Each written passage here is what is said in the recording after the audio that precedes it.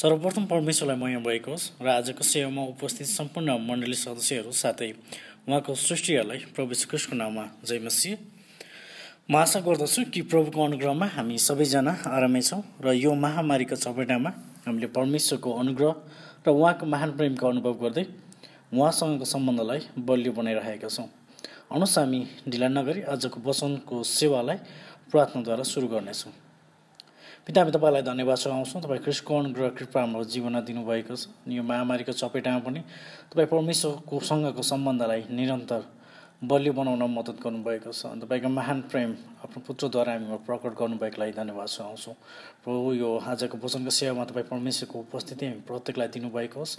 जसै सुन्छौँ यो वचन सुनेर सुनि मात्रै पठाउने होइन तर विवरण लागु गर्न सकौँ र तपाईँ परमेश्वरको यो योजनालाई अनि सत्यतालाई हामीले थाहा गर्न सकौँ र तपाईँ परमेश्वरमा महिमित हुन सकौँ। र यो वचन सुन्नेको वचनले हाम्रो जीवनमा परिवर्तन र आत्मिक वृद्धि गर्न सकेको होस्। सबै बिन्ती प्रार्थना यसो प्रभुको नाममा। मेन केही महिना अगाडि र विगतका दुई हप्ताको निरन्तर वचनको सेवामा मैले यस पुस्तकबाट परमेश्वरको वचन बोल्दै गर्दा तपाईँहरूलाई प्राय भन्दै आइरहेको छु कि परमेश्वरले अब्राहमलाई गर्नुभएको प्रतिज्ञाहरूमध्ये एक प्रतिज्ञा भनेको चाहिँ म तिनीहरूको परमेश्वर हुनेछु र तिनीहरू मेरा प्रजा हुनेछन् भनी भन्नुभएको थियो। र परमेश्वरले उहाँको मानिससँगै रहन आफ्नो करारलाई पनि पक्का गर्दै हुनुहुन्छ। उन्नाइस प्रस्थानको उन्नाइसदेखि हामी हेर्दै गयौँ भने त्यहाँ कसरी परमेश्वरले मसालाई सिनै पर्वतमा आज्ञाहरू अनि उहाँसँग परमेश्वर मानिससँग रहनको लागि दिएको आज्ञाहरू हामी त्यहाँ हेर्न सक्छौँ। जसको यहाँ ज्वलन्त प्रमाण परमेश्वरले इसरायलीहरूलाई सिने पर्वतमा बोलाउनु भएको छ र मसलाई आज्ञा गर्नुभएको छ कि अब तैँले यिनीहरूलाई भन् यदि यिनीहरूले मेरो कुरा साँच्चै नै सुने भने र मेरो करार पालना गऱ्यो भने तिमीहरू मेरो बहुमूल्य निज सम्पत्ति हुनेछौ उहाँको आफ्नै सम्पत्ति हुनेछौ। अनि उहाँले यो पनि भन्नुभएको छ तिमीहरू पुजारीको एक राज्य र एक पवित्र जाति। यो उहाँले मसाला मात्र भन्नुभएको होइन तर पुरा इस्रायलीहरूलाई चाहिँ भनिराख्नु भएको थियो होइन? यदि इस्रायलीहरूले परमेश्वरको आज्ञा पालन गर्यो भने इस्रायलीहरू चाहिँ परमेश्वरको बहुमूल्य निज सम्पत्ति र पुजारीको एक राज्य र एक पवित्र जाति हुनेछ भनेर उहाँले भन्नुभएको थियो। यिनी आज्ञालाई मोसाले पर इस्रायलीहरूलाई गएर चाहिँ भन्छन् होइन? परमेश्वरले आज्ञा दिनुहुन्छ कि यी मानिसहरूलाई गएर बता भनेर। र मोसाले भनेपछि उनीहरूले सबैले एकसाथ इस्रायलहरू सबैले एकसाथ भनेका छन् कि परमप्रभुले भन्नुभएका सबै कुराहरू हामी पालना गर्नेछौँ। त्यस पछाडि त्यहाँ हेर्ने भने परमेश्वरले उनीहरूलाई व्यवस्था दिनुभएको छ। प्रस्थान बिसको एकदेखि सत्रमा। साथै इस्रायलीहरूले गर्नु र मान्नुपर्ने अन्य विधि विधानहरूको बारेमा परमेश्वरले मसालाई उहाँले होइन शिलापाटीमा ढुङ्गाका शिलापाटीमा स्वयं लेखेर दिनुभएको छ। साथै उहाँले उहाँले उहाँको निम्ति बनाइने पवित्र वासस्थान होइन मानिससँग रहनको लागि परमेश्वरको लागि एउटा निश्चित निश्चित वासस्थानको आवश्यकता थियो। अनि त्यसको बारेमा र उहाँको पवित्र स्थानमा काम गर्ने पुजारीको छनौटको बारेमा साथै उनीहरूले लगाउने पोसाकको बारेमा र यी सब कसरी बनाइन्छ र बनाउँदा कस्ता कस्ता धातुहरूको प्रयोग गरिन्छ भन्ने कुराको बारेमा पनि उहाँले मसालाई आज्ञा दिनुभएको कुरा हामीले हेर्दै आएका थियौँ। र गत हप्ताको वचनलाई सुन्दै गर्दा हामीले देखेका थियौँ कि परमेश्वर मानिसहरूसँगै रहनलाई यी विधि विधानहरू दिनुहुँदै थियो होइन? उहाँले के के कुराहरू गर्नुहुन्छ के कुरा गर्नु हुँदैन मन्दिर बनाउँदा होइन पवित्र वासस्थान बनाउँदाखेरि के के गर्नुपर्छ भन्ने कुराको निर्देशिका दिँदै गर्नु हुँदाखेरि तल आउँदाखेरि चाहिँ होइन उहाँका मानिसहरूले चाहिँ दुष्टता दुष्टतामा लागेका छन् र उनीहरूले अनि परमेश्वरलाई चाहिँ के भने कल्पनामा को परमेश्वर बनाएका छन् र भनेका छन् मसा आउन बिहालो गरेको कारणले हामीलाई प्रतिज्ञा गरेको देशमा जानको लागि हामीलाई एउटा परमेश्वर बनाइदिनुहोस् होइन। जहाँ हारुनले चाहिँ सुनको मूर्ति दु सुनलाई ढालेर त्यहाँ के अरे बाछो बनाएको हामीले देख्दछौँ। र उनीहरू भ्रष्टतामा ढलेको देख्न सकिन्थ्यो। तर पनि परमेश्वरले आफ्नो क्रोधलाई त्यहाँ शान्त पार्नु भएको छ प्रियजनहरू। जसको एक मात्र कारण थियो कि मसा परमेश्वर र मानिसको बिचको मध्यस्थकर्ता हुनुभएको थियो। र परमेश्वरको क्रोधबाट इसरायलीहरूलाई बचाउन त्यहाँ मोहसाले होइन एकदम गम्भीर एकदम अकल्पनीय भूमिका चाहिँ निर्वाह गरेका थिए। र मानिसले परमेश्वरको करार दस आज्ञाको होइन शिलापाटी अथवा उहाँले दिनुभएको आज्ञालाई भङ्ग गरेका थिए। तर उनीहरूको निम्ति मिलाप ल्याउने काम भने मसाले गरेका थिए। र परमेश्वरले मसालाई फेरि शिलापाटीमा लेख्न लगाउनु भएको त्यहाँ थियो हामीले देख्यौँ। र मसा चालिस दिन र चालिस रातसम्म परमेश्वरसँग रहनु भएको कुराहरू हामीले गत हप्ता हेरेका थियौँ। प्रिय प्रभुका जनहरू हामी गत हप्ता अझ धेरै कुराहरू हेरिरहेको थियौँ साथै अहिले पापी मानिस र परमेश्वर बिचको सम्बन्धलाई मिलापन ल्याउने काम चाहिँ ख्रिस यसमा पुरा भएको छ भन्ने कुरालाई पनि हामीले सिकिरहेका थियौँ। किनकि ख्रिस्टले नै मानिस र परमेश्वर बिचमा हुने मध्यस्थकर्ताको भूमिका निभाउनु भएको छ। जसरी परमेश्वरको क्रोधलाई क्रोधबाट बचाउन इसरायलीहरूलाई मसाले अहम भूमिका खेलेका थिए भने त्यसै गरी आज हामी पापी मानिसलाई पनि परमेश्वरको क्रोधबाट बचाउन र परमेश्वरमा मिलापमा ल्याउने काम चाहिँ ख्रिस यसैले पुरा गर्नुभएको थियो। ख्रिसले नै मानिस र परमेश्वर बिचमा हुने मध्यस्थकर्ताको भूमिका निभाउनु भएको छ। जुन सन्देशलाई हामीले त्यहाँ हेर्दै आएका थियौँ गत हप्तामा। र आजको वचनको सेवामा परमेश्वरका मानिस इसरायलीहरूले मान्नुपर्ने सभा दिनको विधि पवित्र वासस्थानको लागि चाहिने सामग्री पवित्र स्थानका सरसामानको तयारीको विषयमा पवित्र वासस्थानको बारेमा गवाईको सन्दुक टेबलको बारेमा समाधान धुपको वेदी होम बलि अनि बा पवित्र स्थानको चोक र परमेश्वरको पवित्र वासस्थानको निर्माणको निम्ति सामानहरूको बारेमा हामी हेर्नेछौँ। यदि तपाईँहरूसँग बाइबल छ भने मसँगै पढाउन सक्नुहुन्छ। प्रस्थानको पुस्तक पैँतिस अध्यायको एकदेखि अडतिस अध्यायको एकतिस पदसम्म हामी हेर्नेछौँ। म फेरि पनि भन्नेछु प्रस्थानको पुस्तक पैँतिस अध्यायको एक पददेखि अडतिस अध्यायको एकतिस पदसम्म हामी यो अहिले कन्टिन्यू पढ्ने छैनौँ तर बिच बिचमा हामी पढ्दै जानेछौँ। यहाँ प्रस्थान पैँतिसको एकदेखि तिनमा हेऱ्यौँ भने सभा दिनको विधिको बारेमा पुनः सम्झना गराइएको छ। जहाँ यसो लेखिएको छ मोसाले इसरायलीहरूका सारा समुदायलाई भेला गराएर तिनीहरूलाई भने परमप्रभुले परमप्रभुले आज्ञा गर्नुभएका तिमीहरूले गर्नुपर्ने कुरा यिनै हुन्। छ दिनसम्म काम गरियोस् तर सातौँ चाहिँ दिन तिमीहरूका निम्ति पवित्र हो। त्यो परमप्रभुको निम्ति सभात हो कसैले त्यस दिन काम गर्यो भने त्यो मारियोस्। तिमीहरूका कुनै घरमा पनि सबातमा आगो नफुक्नु। यहाँ इसरायलीहरूले परमेश्वरको पवित्र वासस्थान बनाउन गइरहेका थिए होइन? हामीले न्यायालय हेर्नु भने जसको लागि उनीहरूले मात्र छ दिन काम गर्नु पर्थ्यो भने एक दिन आराम यानि कि सभा दिन मान्नु पर्थ्यो जहाँ उनीहरूले त्यस दिनलाई पवित्र दिन मान्ने तर यदि त्यो दिनलाई होइन मान्छेहरूले वास्ता नगरी परमेश्वरको आज्ञालाई तोडेर अनि त्यो सबातको दिनलाई उल्लङ्घन गरेको पाइयो भने त्यो मान्छे निश्चय नै मारिनुपर्छ भन्ने आदेश स्वयं परमेश्वरले दिनुभएको थियो। यदि हामीले हेर्ने भने सभातको अभ्यास उत्पत्ति दुई अध्यायमा देख्छौँ जुन मैले गत हप्ताहरूमा पनि भन्दै आइरहेको थिएँ जुन परमेश्वरले उहाँको लागि होइन तर मानिसको विश्रामको लागि बनाउनु भएको थियो। जहाँ उसले परमेश्वरको सुन्दर सृष्टिको आनन्द लिन सक्थ्यो। त्यसै गरी इसरायलले यो सबातलाई विश्रामको दिन मानेर परमेश्वरको इमान्दारिता र उहाँले इसरायलीहरूलाई गर्नुभएको उद्धारको सम्झना गरी त्यसमा आनन्दित भएर र उहाँमा धन्यवादी हुनुपर्ने दिन थियो सबात भनेको। साथै जसरी परमेश्वरले संसारको सृष्टि गर्दै गर्नुहुँदा छ दिनसम्म काम गर्नुभयो र सात दिन विश्राम लिनुभयो। उत्पत्ति दुईको दुईमा। त्यसै गरी इसरायलीहरूले पनि उहाँको पवित्र वासस्थान बनाउँदै गर्दा छ दिनसम्म काम गर्ने र सातौँ दिन विश्राम गर्नु पर्थ्यो किनभने सभा दिन पवित्र ईश्वरीय विश्रामका दिन हो भनी जनाउँदछ। तर प्रिय मण्डली सदस्य परिवार आज परमेश्वरको मानिसको विश्राम भनेको चाहिँ ख्रिस यसुमा छ। हामी हाम्रो विश्राम ख्रिस्टमा मात्र पाउँछौँ। जसले हाम्रो निम्ति काम गरी सिद्धाउनु भएको छ। हामीले केही गर्नु पर्दैन। किनकि हाम्रो निम्ति काम गर्ने भनेको चाहिँ ख्रिस्ट हुनुहुन्छ। अनि उहाँले चाहिँ हाम्रो काम गरी सिद्धाउनु भएको छ। त्यसैले सबात एक पवित्र विधि हो जुन आज परमेश्वरको मानिसले ख्रिस्टमा रहेर चाहिँ आनन्द मान्नुपर्छ। होइन? ख्रिस्टलाई फाल्टै अनि सबात दिन फाल्टै भनेर चाहिँ मिल्दैन। तर हाम्रो सबात भनेको चाहिँ ख्रिस्टमा छ। उहाँमा चाहिँ हामी आनन्द मान्नुपर्छ।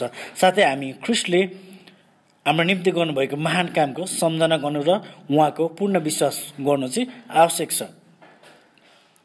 आज हामी सबाद कसरी मान्छौँ भने ख्रिस्टद्वारा ख्रिस्टमा मात्र। पैँतिसको चारदेखि छत्तिसको साथमा मसाले इसरायलीहरूका सारा समुदायलाई परमप्रभुको पवित्र वासस्थानको लागि चाहिने सामग्री र परमेश्वरले चुन्नु भएको निपुण मानिसहरूले परमेश्वरको आज्ञा अनुसारको काम गर्नको लागि लागि यहाँ नियुक्त गर्नुभएको कुराहरू हेर्न सकिन्छ। पैँतिस अध्यायको चार पददेखि छत्तिसको सातसम्म। मोसाले इस्रायलीहरूलाई सामान ल्याउनका लागि आज्ञा गरेका छन् त्यहाँ। यदि हामी त्यो खण्डलाई पढ्यौँ भने। जसमा उनीहरूले ल्याउनु पर्ने सामग्रीहरू निम्न थिए। म तपाईँहरूलाई सर पढाइ सुनाइदिनेछु। सामग्रीहरू के के थिए भन्ने कुरा। जस्तै सुन चाँदी र काँसा निलो बैजनी रातो धागो र मसिनो सुती कपडा र बाख्राको भुत्ला रातो रङले रङ्गाएको भेडाको छाला सिल्का छाला र बबुल काठ प्रकाशको निम्ति तेल र अभिषेक गर्ने तेलको निम्ति सुगन्धित धुपको निम्ति मसला एपोद र छातीपाताका जडका निम्ति अनेक र अरू मणिहरू थिए। तर यी सामग्री ल्याउनलाई उनीहरूलाई कुनै पनि प्रकारको जबरजस्ती तैँले ल्याउनै पर्छ नत्र त मर्नेछस् या अरू धेरैले ल्या धेरै मान्छेले धेरै धेरै ल्याएको छ भने तिमीहरूले पनि धेरै ल्याउनु पर्छ भन्ने कुराहरूको जबरजस्ती थिएन। वा तर परमेश्वरले अनि होइन जसले जति सक्छ आफ्नो मनबाट आफ्नो स्वेच्छाबाट चाहिँ उनीहरूले चाहिँ त्यहाँ ल्याउनु पर्ने थियो। किनकि जसले धेरै ल्याउने चाहिँ परमेश्वरको नजरमा महान हुने भन्ने कुरा चाहिँ त्यहाँ थिएन। तर सबैले आफ्नो स्वेच्छाले दिन सक्थे र राज्य खुसीसँग दिन चाहनेले यी कुराहरू प्रमुखको बेटीको रूपमा ल्याउन सक्थे। साथै यहाँ हामी हेर्छौँ भने काम गर्नको लागि जति निपुण मानिसहरू छन् होइन जति योग्यका मानिसहरू छन् त्यो पवित्र वासस्थान बनाउन जान्ने व्यक्तिहरू छन्। तिनीहरू सबै आएर परमप्रभुले आज्ञा गर्नुभएको सबै कुरा बनाउन पनि मसाले इस्ट्रालीहरूलाई आज्ञा दिएका छन्। जसमा सिपमा निपुण भएकाहरूले पवित्र वासस्थानमा बनाउनु पर्ने भनेको चाहिँ निम्न चिजहरू थियो। जस्तै पवित्र वासस्थान र त्यसको पाल पालका छतहरू अङ्कुशीहरू फल्याकहरू बारहरू खम्बाहरू र आधारहरू सन्दुक र त्यसका डन्डाहरू कृपा आसन र छेक्ने पर्दा। टेबिल र त्यसका डन्डाहरू र त्यसका सबै पात्रहरू र उपस्थितको उपस्थितिको रोटी बत्तीको निम्ति समाधान र त्यसका दियाहरू र बत्तीको निम्ति तेल धुपको वेदी र त्यसका डन्डाहरू अभिषेक गर्ने तेल सुगन्धित धुप पवित्र वासस्थानको ढोकाको पर्दा होमबलीको वेदी र त्यसका काँसाको जाली अनि त्यसका डन्डाहरू र सबै पात्रहरू काँसाको धुने बाटा त्यसका खुट्टा समेत अनि चोकका पर्दाहरू र त्यसका खम्बाहरू र त्यसका आधारहरू चाहिँ अनि चोकको मूल ढोकाको निम्ति पर्दा पवित्र वासस्थान र चोकका किल्लाहरू र तिनका डोरीहरू। पवित्र स्थानमा सेवा गर्नको निम्ति बुनेका पोसाकहरू हारुन पुजारीको निम्ति पवित्र पोसाकहरू र पुजारीको काममा सेवा गर्नलाई तिनका छोराहरूको निम्ति पोसाकहरू चाहिँ बनाउनु पर्ने थियो ती निपुण मानिसहरूले। र यी कामको लागि इसरायल इसरायलीहरूले प्रेरणा पाएर मोसाले आज्ञा गरे बमोजिम सबै सामानहरू उनीहरूले स्वेच्छाले ल्याएका छन्। साथै परमेश्वरले योदाका कुलका हुर्का नाति ओरी ओरीका छोरा बजलेललाई बोलाउनु भएको छ होइन? उनलाई चाहिँ परमेश्वरको आत्माले यी सबै कामको लागि निपुण पारेको छ र परमेश्वरको आत्माले तिनलाई सिप दक्षता र सबै किसिमका कारिगरीका ज्ञानले भरिपूर्ण त्यहाँ पार्नु भएको छ। साथै बजलेल ओह ओहिलेयाम र प्रत्येक निपुण मानिस जसलाई पवित्र स्थान बनाउने काम गर्न परमप्रभुले ज्ञान र दक्षता दिनुभएको थियो। तिनीहरूले तिनीहरू सबैले परमप्रभुले आज्ञा गरे आज्ञा गर्नुभयो अनुसार चाहिँ काम गर्नु पर्थ्यो र तिनीहरूले त्यो गर्नलाई तयारी भएका छन्। यहाँ हामी हेर्ने भने अघिल्लो हप्तालाई पनि हामीले मनन गरौँ न। एकपटक परमेश्वरको आज्ञालाई अस्वीकार गरेर सुनको मूर्ति पुजेका श्राइलीहरू परमप्रभुमा यति साह्रो नजिकिएका छन् कि परमप्रभुको निम्ति उनीहरूले चाहिने भन्दा ज्यादा सामानहरू ल्याएका छन् जसमा मुसाले उनीहरूलाई अरू सामान ल्याउन मनाइ गरेका छन्। अब भयो पुग्यो पर्दैन ल्याउनु। तर त्योभन्दा केही समय अगाडि केही दिन अगाडि उनीहरू चाहिँ भ्रष्ट भएका थिए। तर जब पश्चातापी हृदयद्वारा परमेश्वरमा फर्केर आए अनि जसलाई मसाको मध्यस्थकर्ताद्वारा उनीहरूको लाई बचाइयो परमेश्वरको क्रोधबाट उनीहरू एक्साइटेड भएका छन् एकदम रमाएका छन् उत्साहित भएका छन् परमेश्वरको वासस्थान बनाउनको लागि र चाहिने भन्दा बेसी सामान चाहिँ उनीहरू ल्याएका छन्। प्रिय मण्डली परिवार यहाँ कति आनन्दको कुरा हामीले देख्न सक्छौँ होइन? केही समय अगाडि मात्र परमेश्वरको आज्ञालाई भङ्ग गरेको भ्रष्टताको जीवन जिएका इस्रायलीहरूले परमेश्वरमा पश्चाताप गरेर आएपछि उहाँको पवित्र वासस्थानको लागि अकल्पनीय काम गरेका छन्। उनीहरू आज्ञाकारी भएका छन्। उनीहरू नम्र भएका छन्। प्रिय प्रभुका जनहरू परमेश्वरले कुनै पनि कार्य गर्नुहुन्छ भने त्यसमा उहाँले कहिले पनि कसैलाई पनि जबरजस्ती गर्नुहुन्न। तर उहाँले त मानिसको हृदयलाई जाँच्नुहुन्छ। र आज पनि परमेश्वरले हामीलाई कहिले पनि जबरजस्ती उहाँको आराधना गर भन्ने भन्नुहुन्न। तर उहाँले हामीलाई यसको लागि चाहिँ अवश्य बोलाउनुहुन्छ। होइन उहाँले नबोलाइकन हामी उहाँ कहाँ जान सक्दैनौँ। उहाँले हामीलाई अवश्य बोलाउनुहुन्छ। तर हास्यास्पद कुरा यहाँ के छ भने होइन मैले कहिलेकाहीँ आफै कल्पना गर्छु अनि एकदम हाँस उठ्छ मलाई होइन। कतिपय अवस्था हामी यस्तो महान चरित्रको भूमिका निर्वाह गर्छौँ मण्डलीमा हामी विश्वासी भएको घोषणा त गर्छौँ होइन। तर कतिपय अवस्थामा हामी ढोङ्गी व्यवहार गर्छौँ र यस्तो हामी एउटा फन्नी आफै कार्टुन बन्ने काम गर्छौँ अनि हामी कहिलेकाहीँ यस्तो सोच्ने गर्छौँ होइन। यस्तो विचारहरू हामीमा आउँछ। म त परमेश्वरभन्दा बहुमूल्य छु जस्तो छु भन्ने खालको एक सोच आउँछ। जहाँ हामी यस्तो विचार पनि आउँछ होइन? हामी बिना त परमेश्वर एक्लो हुनुहुन्छ होइन? यसको मतलब यदि म चर्च गइनँ भने त मण्डली नै रहँदैन होइन? म मण्डली जान छोडेँ भने मैले एकजनालाई भड्काएँ भने त होइन? परमेश्वरले त केही गर्न सक्नुहुन्न भन्ने खालको सोचेर आउँछ होइन? यदि म चर्चमा भएन भने त चर्चको कामै छैन अथवा परमेश्वरको कामै छैन म आज मण्डली गएन होइन? उहाँलाई पछ्याएन भने त परमेश्वरलाई गाह्रो हुन्छ नि भन्ने खालको विचार हामीमा कति व्यवस्थामा आउन सक्छ। वास्तवमा यो त हाँस्नै पर्ने खालको विचार छ होइन? अचम्म खालको विचार छ। अझ सरल तरिकाले म तपाईँहरूलाई बुझाउन चाहन्छु होइन? यदि कन्फ्युजन भयो भने। उदाहरणको लागि मेरो मम्मीले मलाई माया गर्नुभएको छ अनि मेरो लागि मिठो मिठो खानेकुरा बनाएर दिनुहुन्छ होइन? त्यहाँ मैले चाहेको कुरा सबै पाउँछु। अनि म अहिले त्यसलाई आनन्द मानेर मम्मीप्रति धन्यवादी भएर होइन? खानुपर्नेमा मैले यो मिठो खानेकुरा खाएन भने त मम्मीलाई घाटा लाग्छ उहाँको मिहिनेत खेर जान्छ भनेर सोच्नु नै त्यो चाहिँ मूर्खता हो क्या प्रियजनहरू। जहाँ कहिलेकाहीँ हामी सोची पठाउँछौँ। तर आफ्नो आवश्यकतालाई चाहिँ वास्तै गर्दैनौँ होइन? मेरो स्तर के छ म को भन्ने कुरालाई चाहिँ हामी वास्तै गर्दैनौँ। तर हामीले यहाँ बुझ्नुपर्ने मुख्य कुरा भनेको जुन सामग्री इस्रायलीहरूले परमेश्वरको पवित्र वासस्थानको निम्ति ल्याएका थिए त्यो उनीहरूको आफ्नै थिएन प्रियजनहरू। तर त्यो त मिश्रीहरूको थियो होइन? सम्झनुहोस् त प्रस्थानको तिन अध्यायको बाइसमा परमेश्वरले मसालाई होइन त्यहाँ प्रतिज्ञा गर्नुभएको छ र भन्नुभएको थियो। त्यहाँ यसो लेखिएको थियो हरेक स्त्रीले आफ्नो छिमेकी र त्यसको घरमा बस्ने स्त्रीलाई सुन र चाँदीका गहनाहरू र लुगाफाटाहरू माग्नेछन्। र तिमीहरूले ती आफ्ना छोराछोरीलाई लगाइदिनेछौ यसरी तिमीहरूले मिश्रलाई लुट्नेछौ। अन्त प्रस्थान बाह्रको छत्तिसमा आएर उहाँले यो प्रतिज्ञालाई पुरा गर्नुभएको छ जहाँ यसो लेखिएको छ। परमप्रभुले मिश्रीहरूलाई इजरायलीहरूप्रति कृपालु बनाइदिनु भएको थियो र मिश्रीहरूले तिनीहरूलाई मागे अनुसार सबै दिए। यसरी तिनीहरूले मिश्रीहरूलाई लुटे। यहाँ हामी हेऱ्यौँ भने चाहिँ यो सम्पत्तिहरू जति पनि सुन सामग्री धातुहरू जति पनि सम्पत्तिहरू थियो यो इजरायलहरूको आफ्नै थिएन यो त मिश्रीहरूको थियो। तर परमेश्वरले चाहिँ परमेश्वरको कृपा चाहिँ उनीहरूमा आएर उनीहरूले चाहिँ मिश्रीहरूद्वारा त्यो प्राप्त गरेको थिए। प्रिय मण्डल सदस्य परिवार इजरायलीहरूसँग भएको सबै कुरा परमेश्वरको कृपाद्वारा उनीहरूले प्राप्त गरेका थिए र सबै परमेश्वरले उनीहरूलाई दिनुभएको थियो भन्ने उनीहरूले पनि उहाँको कामको निम्ति आफ्नो भएको केही हिस्सा दिनु आवश्यक थियो। त्यसै गरी आज हामीसँग भएको कुनै पनि चिज परमेश्वरलाई दिन्छौँ भने हामीले यो बुझ्नुपर्छ कि त्यो चिज मेरो आफ्नो होइन। तर पनि परमेश्वरले मलाई यसको जिम्मा दिनुभएको छ।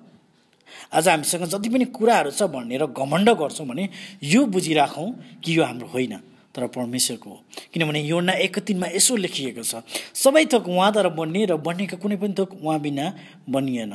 आज संसारमा जति पनि कुराहरू हामी देख्छौँ जति कुरा आनन्दित होइन हामीलाई देख्दा चाहिँ मोह मन मोह हुने खालको कुराहरू देख्छौँ अथवा हामी भएको धनाढ्य सम्पत्तिहरू देख्छौँ यी सबै हाम्रो होइन प्रियजनहरू तर परमेश्वरद्वारा सिर्जेका कुरा हुन् र यो परमेश्वरको हुन्। हामीसँग जे जति छ सबै परमेश्वरले हामीलाई जिम्मा दिनुभएको छ।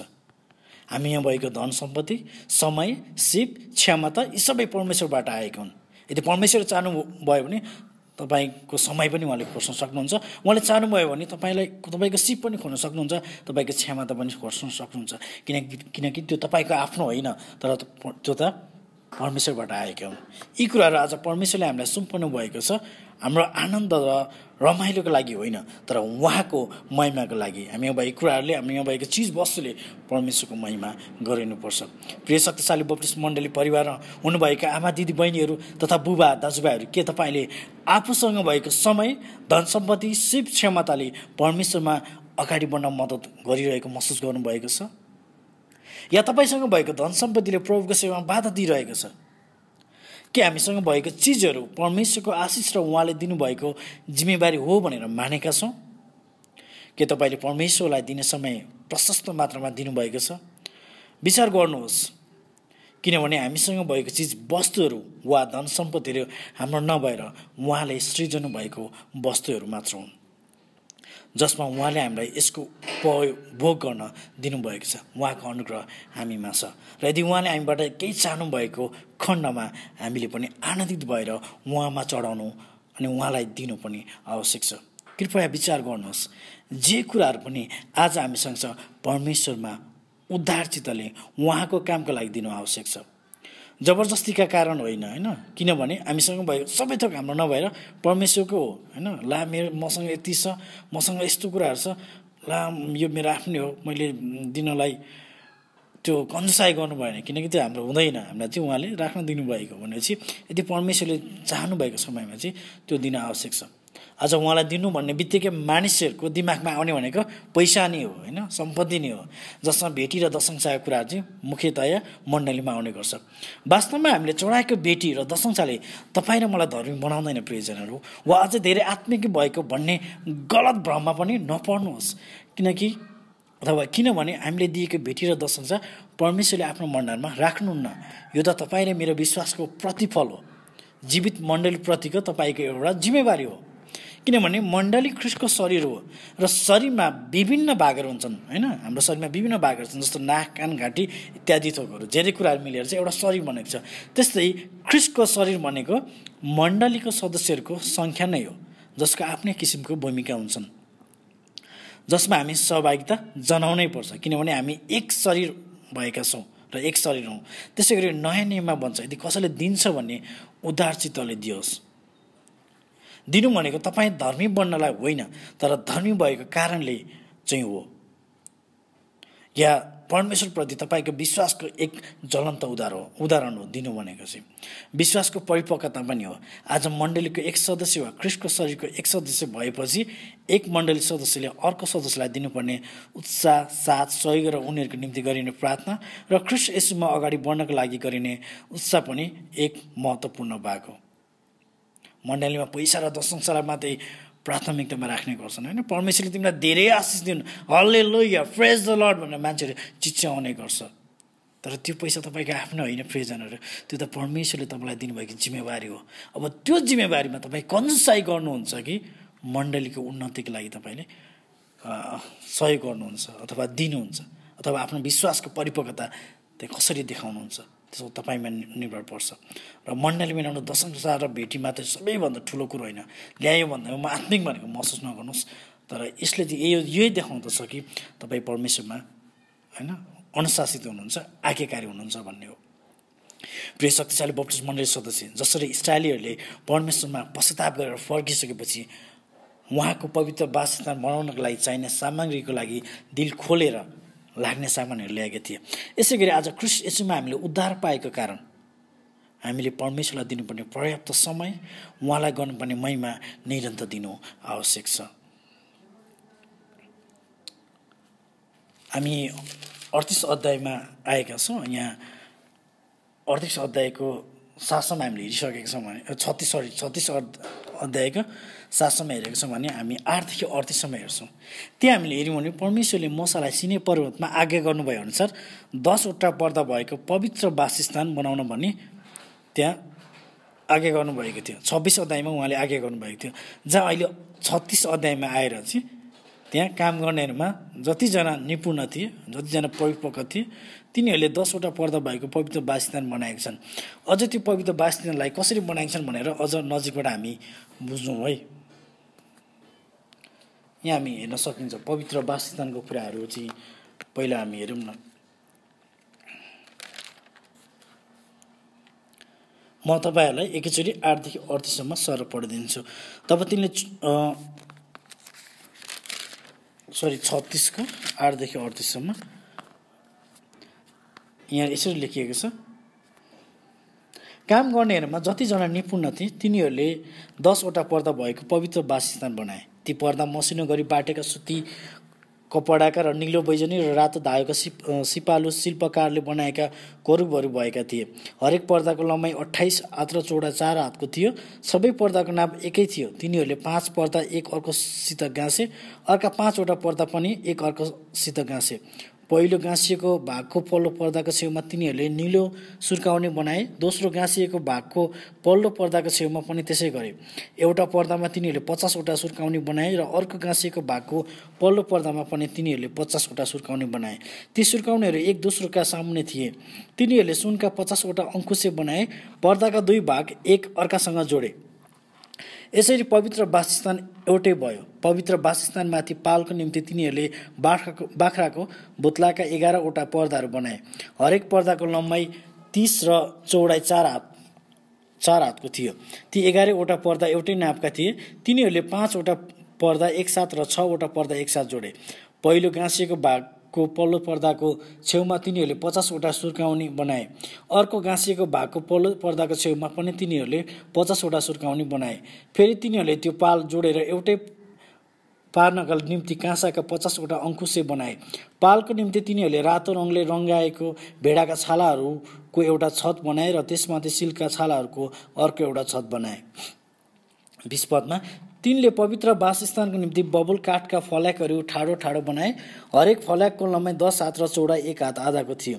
हरेक फल्याकमा दुई दुईवटा चोस चोसा एक अर्का अर्को सामुने राखिएका थिए।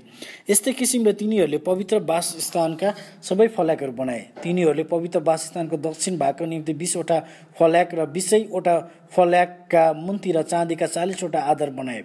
एक फल्याकको मुन्तिर दुई आधार र हरेक चोसो मुनि एउटा आधार। अर्कोतिर अर्थात् पवित्र वासस्थानको उत्तरपट्टि तिनीहरूले बिसवटा फल्याक र तिनका निम्ति चाँदीका चालिसवटा आधार बनाए।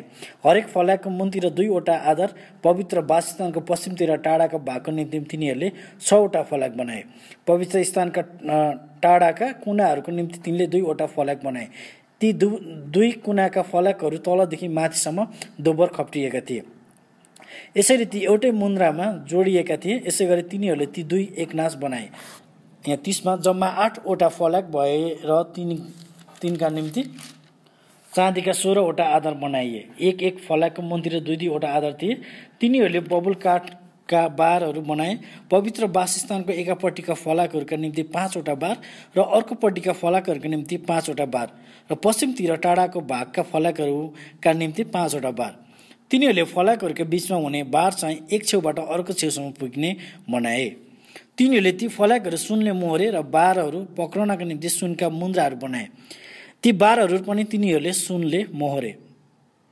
तिनीहरूले निलो बैजनी रातो धागो र मसिनो गरी बाटेको सुती कपडाको एउटा छेक्ने पर्दा बनाए।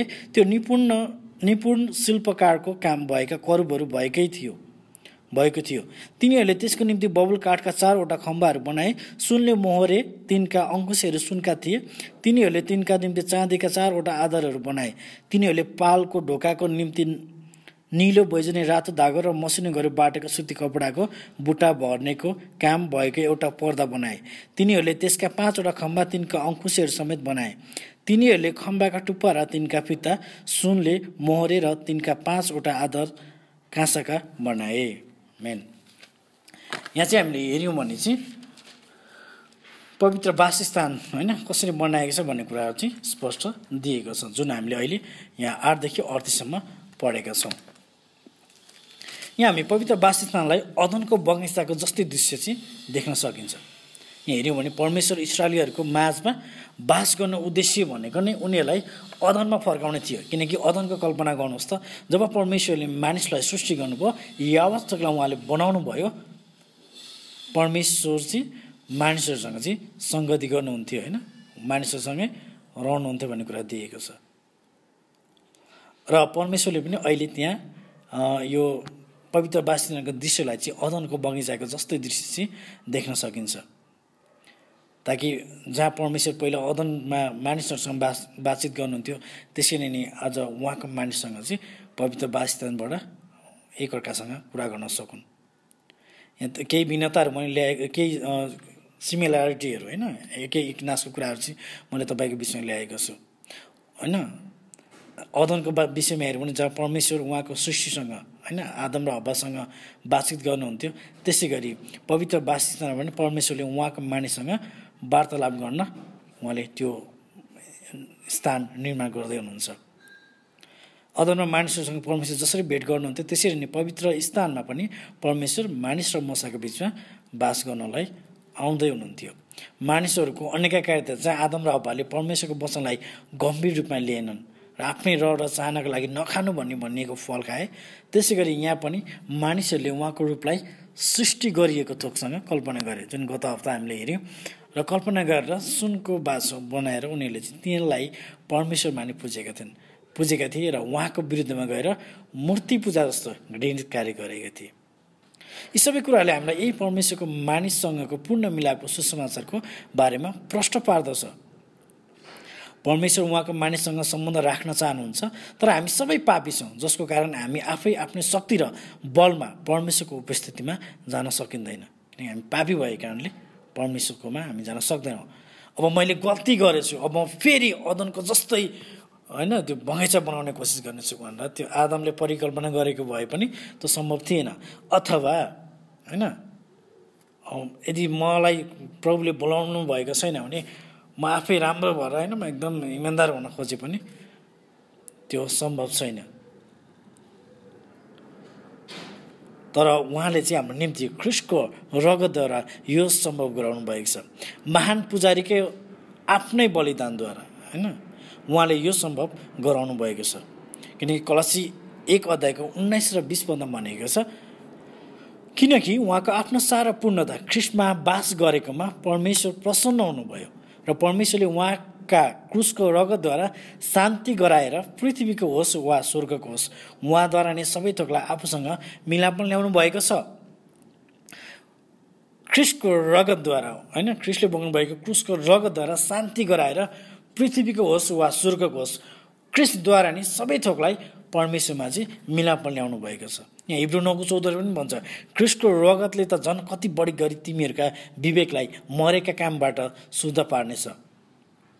ताकि तिमीहरू जीवित परमेश्वरको सेवा गर्न सक। किनकि उहाँले अनन्त आत्माद्वारा आफूलाई निष्कोट बल्लीको रूपमा परमेश्वरलाई अर्पण गर्नुभयो। आदरणीय मण्डली सदस्य आज हामी ख्रिस्टको रगतले परमेश्वरमा बचाइएका छौँ। सायद यो तपाईँलाई अनौठो लाग्न सक्दैन होला किनकि हामीले हरेक दिन सुसमाचारलाई सुन्दै र बुझ्दै आइरहेका छौँ। तर हामीले अझैलाई गहिरो रूपमा बुझ्नु पर्दाखेरि ख्रिस्टको रगतले आज हामी परमेश्वरमा बसाइएका छौँ। र उहाँको नजिकतामा जाने सुनौलो मौका उहाँको पुत्र यसो क्रिस्टद्वारा पाएका छौँ। आजको यस वचनको सेवामा सहभागी हुनुभएको आदरणीय आमा बुवा तथा दाजुभाइ दिदीबहिनीहरू के तपाईँले आज यसुलाई तपाईँको मुक्तिदाता वा उद्धारकर्ता भन्ने विश्वास गर्नुभएको छ? यदि छैन भने विश्वास गर्नुहोस्। आजै विश्वास गर्नुहोस् किनभने आज परमेश्वरको सित्तैको अनुग्रह उहाँको पुत्र ख्रिसद्वारा हामीमा ल्याउनु भएको छ। कृपया यो मौकालाई यो मौकालाई नगुमाउनुहोस्। आजैबाट उहाँलाई चिन्ने र बुझ्ने कोसिस गर्नुहोस्। हामीले यहाँ सडतिस अध्यायको एकदेखि उन्तिस पदमा पनि हामी यहाँ हेर्नेछौँ। त्यो घटनाहरूलाई चाहिँ होइन यहाँ सडतिस अध्यायको एकदेखि उन्तिसमा विशेष गरी गवाईको सन्दुकको विषयमा दिएको छ भने टेबिलको बारेमा समाधान बारेमा अनि धुपको वेदीको विषयहरूमा दिएको छ। अनि योभन्दा अगाडिको कुरा परमेश्वरले मसलाई आज्ञा गर्नुभएको छ पच्चिस अध्यायमा हेऱ्यौँ भने। अनि त्यो आज्ञाअनुसार बजलले काठको सन्दुक बबुल काठको टेबल निकृष्णलाई पिटेर समाधान र बबुल काठको धुपवेदी बनाएका छन्। होइन? सिपमा दक्षतामा निपुण पारिएका बजलले चाहिँ बजललेलले चाहिँ यो काम चाहिँ पुरा गरेका छन्। गवाईका सन्दुक जहाँ परमेश्वरले मसला भेट्नुहुन्थ्यो र यो पछि उहाँले चुन्नुभएको प्रधान पुजारी जसले वर्षमा एकपटक पाप प्रायचितको निम्ति जाने गर्थे त्यस ठाउँमा र परमेश्वरको उपस्थिति हुँदा उहाँ त्यही बास गर्नुहुन्थ्यो र मानिसहरूको पाप प्रायचित अथवा पश्चाताप परमेश्वरले उहाँको अनुग्रह मानिसप्रति त्यहाँ दिनुहुन्थ्यो। जब प्रधान पुजारी महापवित्र स्थानमा पसेर परमेश्वरको उपस्थितिमा होइन पापी मानिसहरूको निम्ति प्रायश्चित गर्दथे अनि उहाँको अनुग्रह मानिसहरूप्रति परमेश्वरले त्यही ठाउँमा महापवित्र स्थानमा दिनुहुन्थ्यो। प्रधान पुजारीले जब मानिसको पापको प्रायश्चितको लागि रगत लगेर छर्कन्थे तब परमेश्वरले उहाँको उपस्थिति दिनुहुन्थ्यो र प्रधान पुजारीसँग बातचित गर्नुहुन्थ्यो। जसरी उहाँ उहाँको मानिससँग अदनमा कुराकानी गर्नुहुन्थ्यो। उत्पत्तिमा हेऱ्यौँ भने परमेश्वर आदमसँग र अब्बासँग कुराकानी गर्नुभएको छ। यदि परमेश्वर र मानिसको मिलन हुनु थियो भने मानिसको निम्ति एक मध्यस्थकर्ताको आवश्यकता थियो। जब उहाँले आज्ञा गर्नुभएको पवित्र वासस्थानभित्र रहेको गवाईको सन्दुकमा जान एक मध्यस्थकर्ता प्रधान पुजारीको आवश्यकता भयो जस्तै। जहाँ आज हामी सबै पापी मानिसको निम्ति क्रिस यसु त्यो प्रधान पुजारी बनिनु भएको छ। गत दुई हप्ता अगाडि मैले तपाईँलाई यही कुराहरू बताइरहेको थिएँ कि क्रिस नै त्यो प्रधान पुजारी हुनु हुनुहुन्छ। हिब्रू दुईको सत्रले पनि हामीलाई भन्दछ यसै कारण हरेक कुरामा उहाँ आफ्नै भाइ जस्तो बनाइनु भयो र मानिसहरूको पापको प्रायश्चित गर्नलाई परमेश्वरको सेवामा उहाँ कृपालु र विश्वस्त प्रधान पुजारी बन्नुभयो।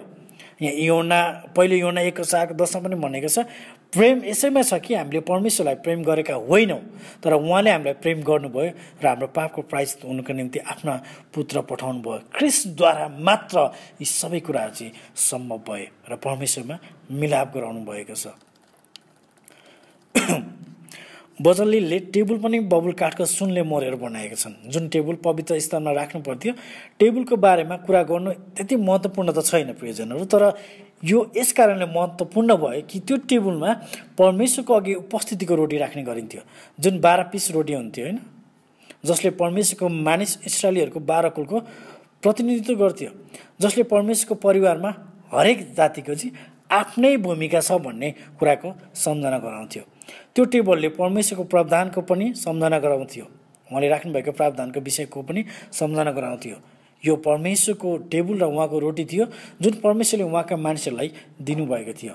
अन्त्यमा पुजारीहरूलाई खानु भने पनि आज्ञा गरेको थियो। यी कुराले पनि यो सम्झना गराउँछ कि परमेश्वरले उनीहरूको दैनिक भोजन चाहिँ दिनुहुन्छ। प्रिय शक्तिशाली बत्तिस मण्डली सदस्य परिवार आज पनि परमेश्वरले उहाँको अनुग्रहमा उहाँले हामीलाई खुवाउनु भएको छ हामीलाई जीवित राख्नु भएको छ हामीलाई प्रशस्त मात्रामा आशिष दिनुभएको छ अकल्पनीय आशिष परमेश्वरले हामीलाई दिनुभएको छ। किनभने यो ना छको बत्तिस र तेत्तिस पदमा हामी हेऱ्यौँ भने र सरासर हामी पैँतिसमा पनि हेऱ्यौँ भने यहाँ यसो लेखिएको छ यसुले तिनीहरूलाई भन्नुभयो साँच्चै म तिमीहरूलाई भन्दछु तिमीहरूलाई स्वर्गबाट रोटी दिने मसा होइनन् तर स्वर्गबाट तिमीलाई साँचो रोटी दिनुहुने मेरा पिता हुनुहुन्छ। किनभने परमेश्वरको रोटी त्यही हो जो स्वर्गबाट ओर्ल्याउँछ र संसारलाई जीवन दिन्छ। परमेश्वरले हामीलाई स्वर्गबाट रोटी दिनुहुन्छ। त्यो अनि साँचो रोटी भनेको चाहिँ ख्रिस्ट आफै हुनुहुन्छ। किनभने उहाँले भन्नुभएको छ जीवनको रोटी म हुँ पच्चिस पदमा। होइन जीवनको रोटी म हुँ के आज तपाईँले त्यो रोटी खानुभएको छ? जुन रोटीले तपाईँलाई एकछिनको भोक मार्ने होइन तर अनन्तको राज्यमा परमेश्वरसँग सदाको लागि मिलापन ल्याउँछ। के तपाईँ त्यो रोटी को हो भनेर अहिलेसम्म अन्यलमा हुनुहुन्छ? अब अलमल नहुनुहोस्। हामीलाई जीवनमा लाने रोटी नै ख्रिस यसो हुनुहुन्छ जो स्वर्गबाट हामी पापी मानिसलाई जीवन दिन आउनुभएको छ। त्यो रोटी पिताद्वारा दिइएको अनि रोटी ख्रिस्ट हुनुहुन्छ। सुनको समाधान पवित्र स्थानको टेबलको वारपारमा राखिएको थियो। जुन अहिलेको जस्तो डिपार्टमेन्ट स्टोरबाट किनेर ल्याएको जस्तो थिएन यो एकदमै बहुमूल्य थियो प्रिजनहरू जसलाई कसरी बनाएको भनेर हामीले अघि नै त्यहाँ सर पढिसकेका छौँ। तर यसबाट बुझ्नुपर्ने कुरा भनेको चाहिँ बत्ती हुनु भनेको अन्धकारलाई हटाएर त्यस स्थानमा अझ उज्यालोको चमक ल्याउनु हो। धर्मशास्त्रमा हेर्ने हो भने परमेश्वर ज्योति हुनुहुन्छ भनेर भनेको छ। र उहाँको ज्योतिको प्रकाशले उहाँको उपस्थिति र पवित्रताको प्रतिबिम्बित गर्दछ। प्रकाश दुईको पाँच पनि त्यहाँ भनेको छ होइन? मण्डलीलाई। यसकारण कहाँबाट तिमी खसेका छौ? सुसम्झ र पश्चाताप गर अनि तिमीले पहिले गरेको काम र ए पहिले गरेको काम गर। नत्र त म तिमी कहाँ आएर तिमीले पश्चाताप गरेनौ भने तिम्रो समाधान त्यसको ठाउँबाट हटाउने छु समाधान हटाउनु भनेको परमेश्वरको उपस्थिति त्यहाँबाट हट्नु हो। परमेश्वरको मानिसले नै जैतुनको तेल परमेश्वरको मानिसले नै जैतुनको तेल बत्तीको निम्ति पवित्र बासितामा ल्याउनु पर्थ्यो जसलाई पुजारीहरूले निरन्तर बालिराख्थे। यसको महत्त्वपूर्ण पाठ हामी सबैले बुझ्नुपर्ने भनेको चाहिँ परमेश्वर हिजो आज सधैँभरिको लागि यस संसारको ज्योति हुनुहुन्छ जुन ज्योति जीवित भई हामीसँग बास गर्नुभएको छ। किनकि यौना एक चारले यही भन्छ उहाँमा जीवन थियो र त्यो जीवन मानिसहरूको ज्योति थियो।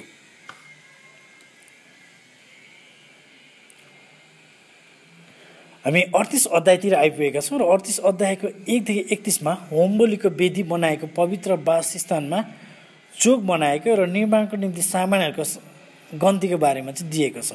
एकपल्ट म तपाईँहरूलाई पद एकदेखि आठसम्म आठसम्म यहाँ पढेर सुनाउनेछु। जहाँ चाहिँ होमबलीको वेदीको विषयमा हामी हेर्न सक्छौँ। तिनले बबुल काठको होमवेदी बनाए त्यसको लम्बाइ पाँच हात चौडाइ पाँच हात वर्गकार र त्यसको उचाइ तिन हातको थियो। त्यसका चारै कुनामा तिनले सिङहरू बनाए।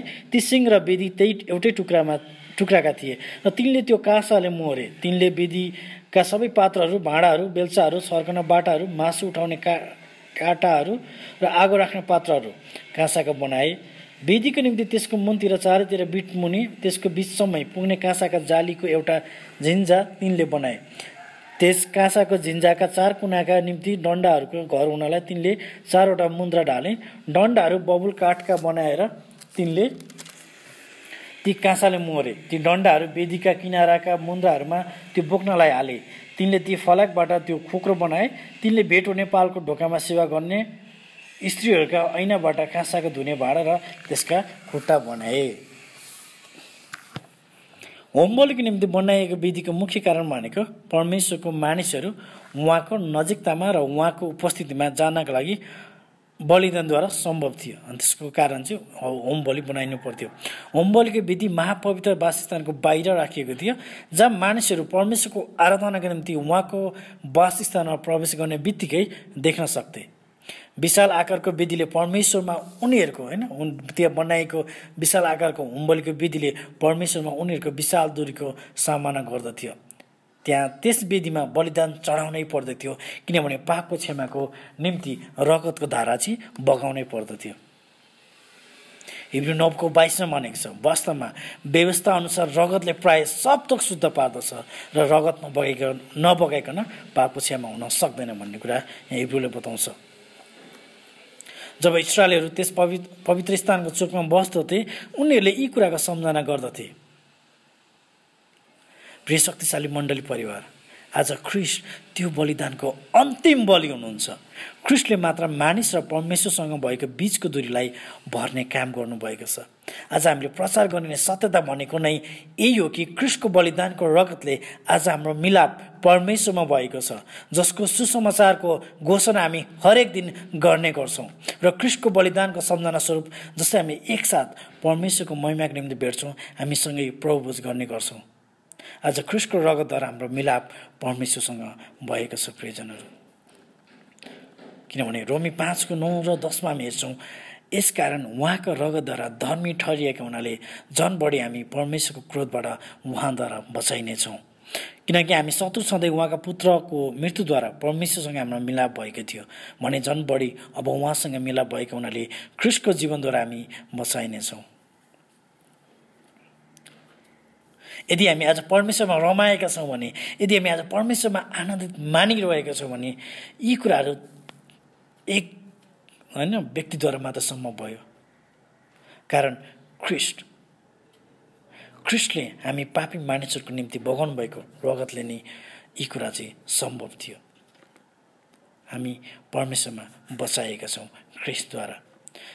प्रिय मण्डल सदस्य आज तपाईँ कृष्ण बचाइनुमा तपाईँको दैनिक धर्मशास्त्र अध्ययन गर्ने बानीले होइन। तपाईँको नम्रताले पनि होइन तपाईँसँग भएको धन सम्पत्तिले पनि होइन तर मात्र क्रिस्टको रगतले। उहाँमा विश्वास गर्नुहोस् र अझ नजिकतामा जानुहोस्। हामीले अध्ययन गर्ने धर्मशास्त्रसँग दिने बेला हुने गतिविधि नम्रताको जीवन जिउने बानी र खाँचामा परेकाहरूलाई सहायता गर्ने काम जसै हामी गर्छौँ। प्रियजनहरू यो उद्धार पाउनलाई होइन तर उद्धार पाएको कारणले हो। क्रिस्टमा हामीले जीवन पाएको कारणले हामी यी गतिविधि गर्छौँ। हामी हरेक दिन धर्मशास्त्र पढ्छौँ हरेक दिन प्रार्थना गर्छौँ हरेक दिन एक अर्कालाई वचन जरा उत्साह दिन्छौँ अनि खाँचोमा सहायता गर्छौँ। तर धर्मी ठहरिन होइन तर धर्मी ठहरिएको कारणले हो प्रियजनहरू। हामी अडतिसको नौदेखि हामी एकतिससम्म एकपल्ट सर र यहाँ पढ्नेछौँ। करिब हामी अन्तिमतिर आइरहे आइपुगेका छौँ। अडतिस अध्यायको नौदेखि एकतिससम्म। यहाँ चोकको विषयमा निर्माणको निम्ति सामानहरूको विषयमा दिएको छ। तब तिनले चोक बनाए त्यसको दक्षिण भागको लम्बाइ एक सय हातको थियो र त्यसको मसिनो गरी बाटेको सुती कपडाका पर्दाहरू थिए। तिनका खम्बाहरू बिसवटा र तिनका आधारहरू पनि बिसवटै काँसाका थिए। खम्बाका अङ्कुशहरू र तिनका फिताहरू चाहिँ चाँदीका थिए। उत्तरका भागको निम्ति पनि सय हातका पर्दाहरू र तिनका खम्बाहरू बिसवटा र तिनका आधारहरू पनि बिसवटै थिए सबै काँसाका। तर खम्बाहरूका अङ्कुशे र फिताहरू चाहिँ चाँदीका थिए। पश्चिमतर्फको निम्ति पचास हातका पर्दाहरू थिए। तिनका खम्बाहरू दसवटा र आधारहरू दसवटै थिए तर खम्बाहरूका अङ्कुशे र फिताहरू चाँदीका थिए। पूर्व वा सूर्योदयतर्फको चौडाइ पचास हात थियो। मूल ढोकाको एक एकातर्फको निम्ति पन्ध्र हातका पर्दाहरू थिए। तिनका खम्बाहरू तिनवटा र आधारहरू पनि तिनवटै थिए। अर्को तर्फको निम्ति यस्तो थियो चोकको ढोकाको दायाँ र बायाँ पन्ध्र पन्ध्र हातका पर्दाहरू थिए। तिनका खम्बाहरू तिनवटा र तिनका आधारहरू तिनवटै थिए। चोकका चारैपट्टि सबै पर्दाहरू मसिनो गरी बाटेका सुती कपडाका थिए। खम्बाका आधारहरू काँसाका थिए तर खम्बाका अङ्कुशे र फिताहरू चाहिँ चाँदीका थिए। तिनका टुप्पाहरू चाँदीले मोहरिएका थिए चोकका सबै खम्बाहरूका फिताहरू चाँदीका थिए। चोकको मूल ढोकाको पर्दा बुट्टा हाल्नेको काम भएको निलो बैजनी रातो धागो र मसिनो गरी बाटेको सुती कपडाको बनिएको थियो। त्यसको लम्बाइ बिस हात र उचाइ चोकको पर्दाको बराबर पाँच हातको थियो। तिनका खम्बाहरू चारवटा र तिनका काँसाका आधारहरू चारवटै थिए। तिनका अङ्कुशी र फिताहरू चाँदीका थिए र तिनका टुप्पाहरू पनि चाँदीले मरिएका थिए। पवित्र वासस्थान र त्यसको वरिपरिको चोकका सबै किलाहरू काँसाका थिए। यो चोक कसरी बनाएको थियो भन्ने कुराको स्पष्ट व्याख्याहरू यहाँ गरिएको छ नौदेखि बिससम्म। र निर्माणको निम्ति सामानहरूको विषयमा यहाँ दिएको छ यो चाहिँ एक्काइसको एकतिससम्म। म तपाईँहरूलाई सर पढेर यहाँ सुनाइदिनेछु। पवित्र वासस्थान अर्थात् गवाईका मण्डपको निम्ति चलाइएका सामानको जुन गन्ती मसाले आज्ञा बमोजिम हारुन पुजारीका छोरा इतामारद्वारा लिबीहरूले गरेका थिए त्यसको वर्णन यही हो। परमप्रभुले मसाला आज्ञा गर्नुभयो भए बमोजिम योदाका कुलका हुर्का नाते उरीका छोरा बजलिलले सप्तक बनाए। तिनीसित दानको कुलका अहिसामा कका छोरा ओहोलियाब थिए जो शिल्पकारको काम गर्न आकारहरू बनाउन र निलो बैजनी रातो धागो र मसिनो सुती कपडाका बुट्टा भन्न सिपालु थिए। पवित्र स्थानका सबै कामका निम्ति डोलाउने बलिको जम्मै सुन पवित्र स्थानको सेकेलको हिसाब अनुसार उन्तिस तोडा र सात सय तिस सेकेलको थियो। समुदायमा गन्ती भएका मानिसहरूका चाँदी पवित्र स्थानको सेकेलको हिसाब अनुसार एक सय तोडा र सत्र सय पचहत्तर सेकेलको थियो। जतिजना बिस वर्ष र त्यसभन्दा बढी उमेरका मानिसहरूमा गनिएका थिए ती छ लाख तिन हजार पाँच सय पचास मानिसहरू हरेकबाट एक एक बेका अर्थात् पवित्र स्थानको सेकेलको हिसाबले आधा सेकेल थिए। एक सय तोडा चाहिँ पवित्र स्थान र पर्दाका आधारहरू ढाल्नको निम्ति थियो। सब आधारहरूमा सय तोडा थियो। एक आधारको निम्ति एक तोडा ती सत्र सय पचहत्तर सेकेलबाट तिनीहरूले टुप्पाहरूका निम्ति अङ्कुशे बनाए। तिनका टुप्पाहरू मरे र तिनका निम्ति फिताहरू बनाए। डोलाइने बलिको काँसो सत्तरी तोडा र दुई हजार चार सय सिकलको थियो। तिनीबाट तिनीहरूले भेट हुने पालको ढोकाको निम्ति आधारहरू काँसाको विधि र त्यसका काँसाको झिन्जा र विधिका सबै सामान। र चारैतर्फको चोकका आधारहरू र चोकको मूल ढोकाका आधारहरू र पवित्र वासस्थानका सबै किलाहरू र चोकका चारैतर्फका सबै किलाहरू चाहिँ बनाए यहाँ जसरी प्रस्थान हामीले यहाँ हेऱ्यौँ र अहिले पढि पनि रहेका छौँ कि जसरी प्रस्थान पच्चिस एकदेखि सत्ताइस एक्काइसमा परमेश्वरले मसालाई सिनै पर्वतमा आज्ञा गर्नुभयो अनुसार मसाले यी सबै काम चाहिँ पुरा गरेका छन् होइन? उहाँको महापवित्र स्थान बनाउनको लागि चाहिने पोसाकको कुराहरू चाहिँ यहाँ परम मसाले परमेश्वरद्वारा पाएको आज्ञा अनुसार पुरा गरेका छन्। र परमेश्वरको आज्ञा अनुसारको उहाँको पवित्र वासस्थान बनाइएको छ। यो आनन्दको कुरा हो रमाहाटको कुरा हो। तर आज हामी प्रियजनहरू उहाँको मन्दिर हो। जसरी परमेश्वरले प्रतिज्ञा अब्रामलाई गर्नुभएको थियो कि तिनीहरू मेरा मानिस हुनेछन् म तिनीहरूको परमेश्वर हुनुहुन्छ भनेर अनि उहाँ त्यो इजरायलीसँग बास गर्नुभयो र बास गर्नको लागि उहाँलाई पवित्र स्थान बनाइएको थियो।